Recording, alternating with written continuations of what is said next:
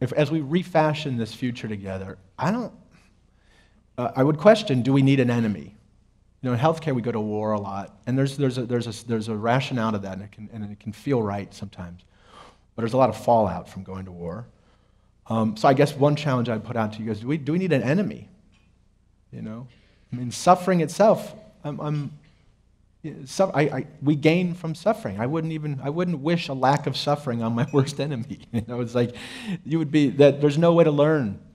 Um, so I guess for me, um, I would name my, if I have to have an enemy, I would suppose it's shame. To be made to feel ashamed for things we can't control. It's just mean.